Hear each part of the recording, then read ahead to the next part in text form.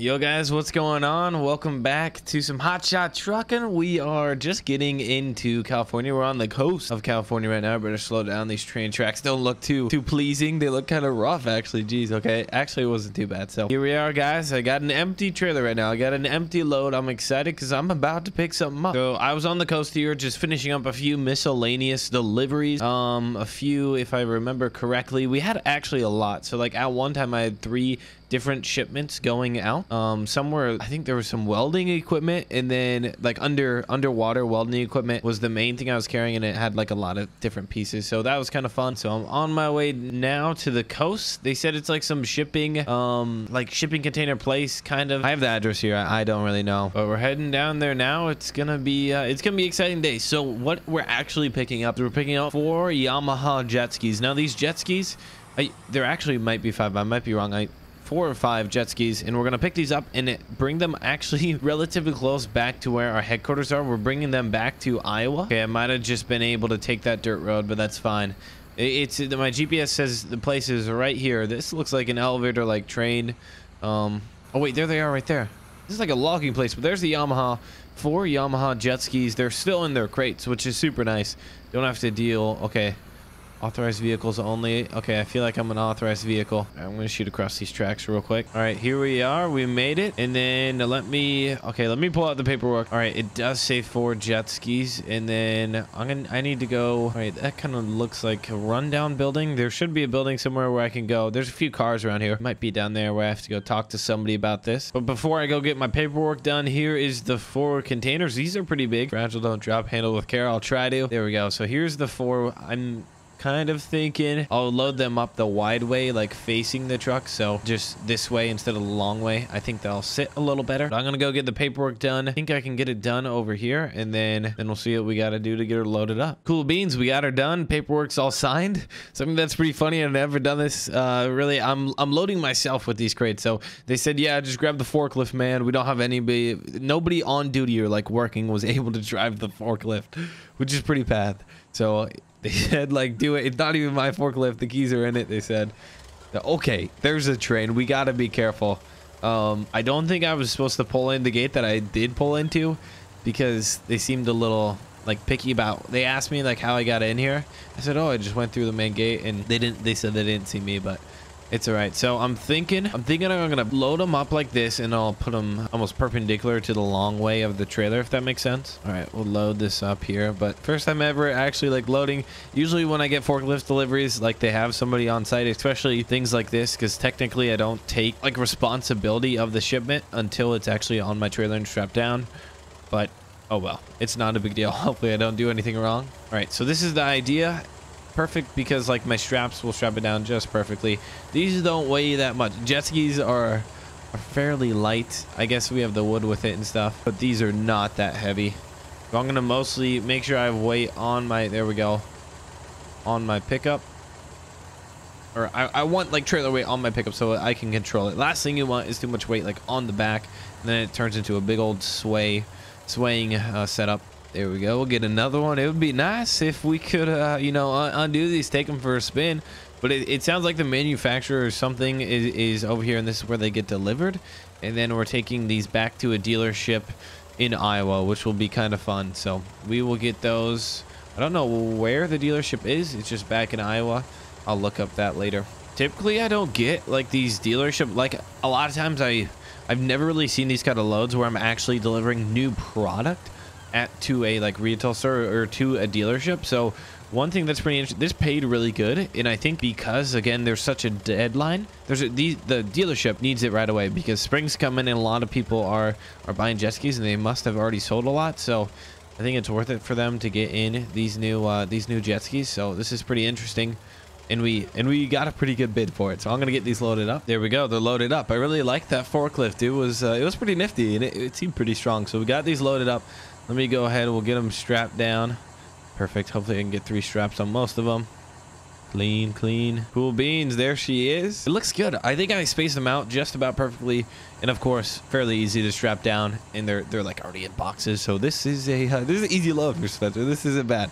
This is where we make our money and it's literally just about driving now. So I, it's about an 18 hour drive. Let me pull it up on Google Maps real quick. Here she is. This is our route. We're going from Pacific Grove and we'll head north a little bit through Sacramento and then we'll jump on I-80. It's a 32 hour, 2100 mile trip all the way to Waukon Power Sports here right by McGregor. So this is really nice. Like I said, the dealership that we're going to here is, here's the Power Sports right here.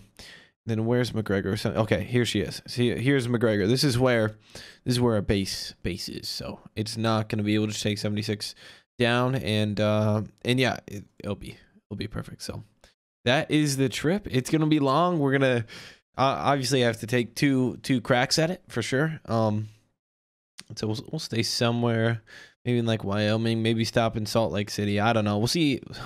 Probably traffic is going to slow us down, but we'll get right to it. Let's get going. Yeah, yee. All right, we're shooting on out of here. We're going to head. I think I go, yeah, it looks like I go back the way that I just came. Trying to watch out for traffic. Traffic is really slow around here. You would think because, you know, I'm in California, they would be you, they would be going pretty fast. I don't know. It's just kind of what it seems like, but it's um kind of nice being by the coast. Haven't seen the ocean in a while, so it's kind of fun bringing the power stroke out and around here. But I do feel, I, I feel the jet skis on there just barely. It, it's really like nothing. Um, it's clean. It's obviously not the most like aerodynamic load, but I mean, like, what am I, what am I complaining about? It's a fairly easy load. So I'm to shoot back up the way we came. There we go. There's that train that I was talking about. There she is. I could have just taken me out. So We'll jump on the highway here. We got to go through Sacramento, and then I'll, I'll try and get through Salt Lake if we can. Go through Wyoming, Nebraska, all the way into Iowa. It's going to be a long drive, but, like, it's pretty early. It's about 9 a.m. when I picked this up, so I was pretty happy with where we... I, I think I can get into uh, into Salt Lake, into, into Utah, hopefully, but we'll see. I got uh, 32 hours to go, 2,100 miles. It'll be fun. I'll listen to a lot of podcasts and stuff. But hotshot trucking, you know, there's a lot of glamour in it, but then when you get down to it, I mean, you're you're sitting there, you're gonna be driving for a way. So I think I think I have a yeah, that's right. I have a bridge coming up. Here it is.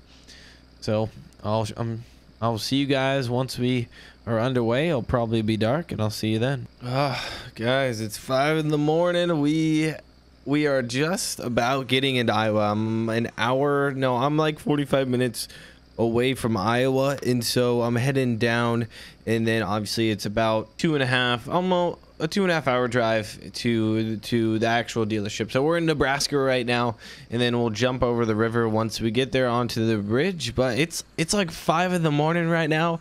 I I woke up. Well, I woke up at one. Well, one o'clock. One o'clock. We we went all the way to North Platte, Nebraska.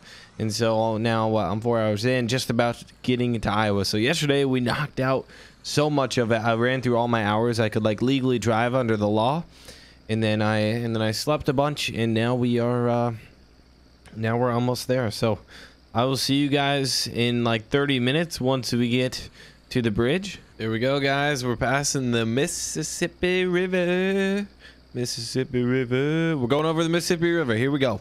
Here's the bridge. So we're officially jumping into Iowa, and then we got like two hours left. So two, two, two and a half hours left. So that'll be nice. There we go. There's the Mississippi. Our truck looks like a beast. And we're over. Okay, we're still kind of like over the water, but that bridge is, it got to be, it's a little spooky for me, not going to lie. Yeah, there's the welcome to Iowa sign. So it's a it'll be a little hilly as we get out of the kind of like the river valley area and then I'll we'll just take I-80 right over and we will be be there in about two and a half hours. So I'll probably just see you guys once we get actually down into the dealership and then and then yeah it'll be perfect. So that power sports store they there we we got we bidded this up pretty high and we got it pretty good. So things will be hopefully it'll be easy unloading and they'll be ready to go. Right now it is so i'll probably get there what i'll get there at right now it's 6 6 30 the sun's up.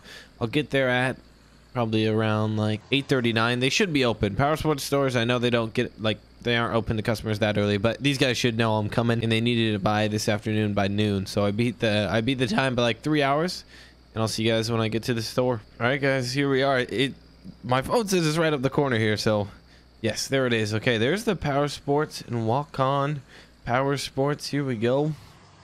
I went ahead, I called like when I was an hour out, I called to make sure they were open and they are. And so a, a gentleman answered or, oh wait, there's somebody right there. All right, cool, cool, cool. Um, all right, looks like, all right, there's a forklift right there. Let's, I'm just to back up. Doesn't really matter. This place is kind of, it's got a small parking lot, but it has so many, they have a lot of stuff outside. So they're getting ready for spring. Their snowmobiles. They still have snowmobiles out. Was it, wait, Bolt, is that you? Yep. You It's own this place? Yeah. I I don't own it, but I part time own it. You you're like part time on it? Okay, cool. Yeah. Well, here's your. I delivered these down here. Um, yeah, no, I didn't know you did this. I, you do a lot of things that we don't know about. You, you every time you show up a new pickup a truck, and then you're a mechanic. You're working on my farm, and now you own a power sports dealership. I'm a busy guy. You are a busy guy. Well, uh, I see you got a forklift over there. So if you want, here, let me get the paper out, paperwork out. Just sign off on that they're delivered properly and stuff. Here, I'll, I'll get that for you. This boxes seem fine, so Here's that. Should Just go fine. ahead and sign just the bottom two. Yeah, it's just two pages. Sign the bottom two. uh, Yeah, I loaded it up. Didn't have any trouble. Straps were totally fine. Never had to. None of them ever shook free. yep. Perfect. here There we go. Thank you. There we go. Put it back inside. So I'll go ahead and unstrap it if you want to unload it for me. Got it. Everything look good though, right? Yeah. Okay. All okay. All right. So we're just gonna unstrap these for him. This this should literally take two seconds, and then what's really nice is we're right by the border. So I'm actually gonna head back home, and probably take the day off today, and then get some rest. And I'll pretty much have I'll I'll probably take like a four or five hour nap to catch up on some sleep. But this is uh, this one paid good. This one paid it really good. I don't think they have. Looks like they're still. I'll talk to Bolt about it, but it looks like they're still trying to get rid of their their snowmobiles. I don't think those are going to be selling anytime soon. All right. Seems like he's pretty good. I, I might. He's he looks like he's pretty good forklift driver, but I, he ha- he does have some sea over there.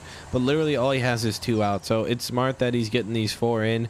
I'm sure he has more shipments coming. But like honestly, that would make sense. I'll talk to him more about it. Why, why he ordered from me? But here we go. Cool, cool. Yeah, this place is kind of small. It's really interesting. It's got like a uh, kind of like a farm vibe to it with the shed, but still like a lot of nice equipment out here. Pretty cool place. Cool, cool. There we go. He's got them unloaded. Nice, nice. This place is, uh, yeah, this place is pretty cool. There's, well, man, how come you needed? I see you have a bunch of snowmobiles and sleds out there, and you only got two jet skis. Oh, Are you guys like on back order or something? those snowmobiles. I'm trying to sell, but no one wants to buy them in this well, yeah, it's springtime, man. It's yeah. nice out. So, where are you? Where are all the jet skis? They just haven't came, so I needed you. Guess a truck broke down or something like that. Gotcha. Yeah. Yeah. No, I saw this bid and I was like, wait, why would they only want four? And then like usually you don't see hot shot. Usually like you don't see new products getting shipped through hot shot trucking. Like new products as in like to a dealership. So There are more coming. It just Yeah. I need. you need these four for sure. No, that that's, that's exactly what I thought. And then I saw the timetable. It was a 34 hour, 2100 mile trip for me, and it said they wanted it done in two days. So like I knew that Yeah. was uh, I knew it was gonna pay good. So. I'll give you a great deal for the home bills. All five for the same price at normal price. Uh, I'm not looking for snowmobiles right now, but uh, a great deal. I gotta Yeah. head out, boy. I gotta head out, man. I can't keep the snowmobiles though. Man, I don't want, I don't want snowmobiles, boy. Thanks for, uh, thanks for having the shipment. But I will see you next time, man. Got it. All right, guys. We're, that's gonna wrap up today's episode. We got our shipment in all the way from California to back to Iowa, and of course, Bolt's the one who owns the dealership. So, thank you guys so much for watching. He was trying to sell me those sleds. I, I don't want them. I already have snowmobiles. So, yeah, thank you guys so much for watching. If you enjoy Hot Shot Trucking, hit the like button. More FSN Network, uh, Farm Sim Network videos coming in the future too. If you guys are interested on those, I love making them. So, I'll see you guys in the next episode.